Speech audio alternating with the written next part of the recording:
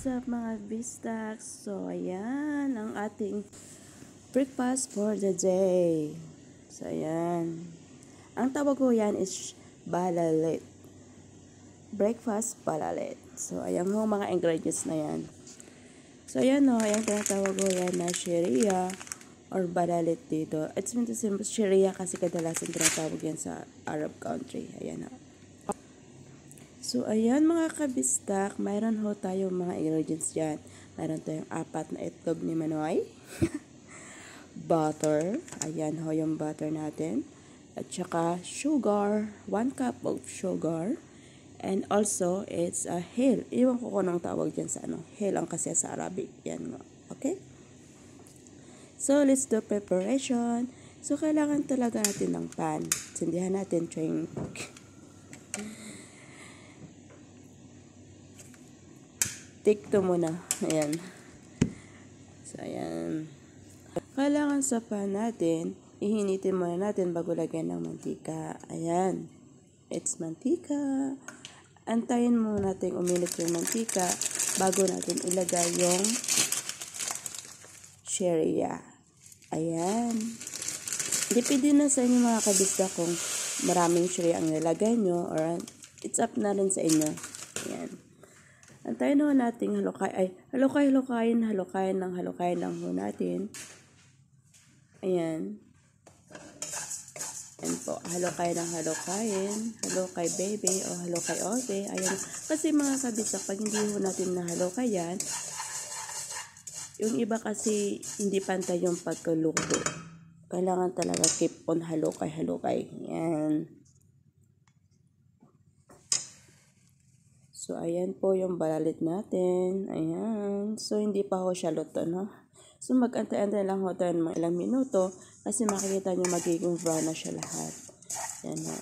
Kailangan talaga ng halukay para magpantay yung brown yan. Kasi ma mabilis lang talaga masunod. At saka yung apoy din ng mga kabisda is kailangan to talaga na mahina lang yung apoy para hindi mag hindi mag-iba, mag-brown yung iba. Ayan. O, di ba? Ganyan paghalukay, o. Mm, ayan. Halakayin ulit yan. Pagkantay na lang ho tayo ng minuto at saka maging brown na po siya. So, ayan, malapit na malapit na malapit na malapit na ho siya brown. Ayan ho. Kailangan lang ho natin kasi mga kabistak pantay yung brown yan para hindi naman, para pagluto, hindi maging lata itong syurya natin or balalit. So, ayan. Antayin lang ho natin ng segundo. Segundo na lang po ha. Hindi na po minuto. So, ayan mga kabisak. Ayan po, naging brown na ho siya. Charot! So, ganyan po talaga kabisak. Kailangan ho pantay yung pagka-brown para po hindi lata. So, lagyan po natin ng tubig.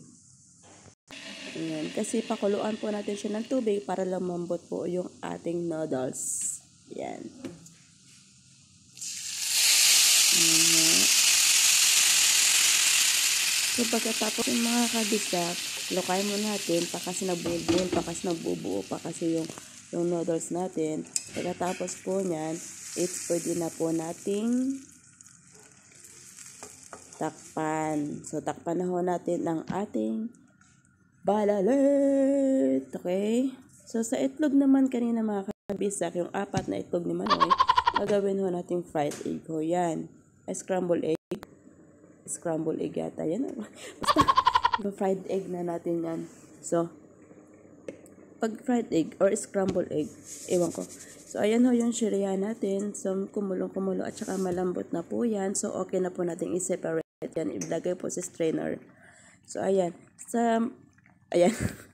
Take Sa ano po natin, ayan ho. Yung kawali po natin mga kabisag, ag two step na ho tayo. Charot. Lagyan ho natin ng butter, painitin ho natin yung kawali. Tapos, pag mainit na po yung kawali, ilagay na natin po yung yan, lor pack butter. So, maglagay lang ho tayo ng 1 tablespoon butter sa ating pan o sa ating kawali. Ayan po. Ching! So mga kabisak, antayin ho nating matunaw o mamelt yung butter para po Ayan po, malapit na po siyang mag-melt yung butter. Ayan ho, nag-melt na po yung butter. Pagkatapos po, pag nag-melt na po yung butter, so saka natin ilagay yung shirya or yung kaninang noodles na pinakuluan natin. Ayan, so ready na siya.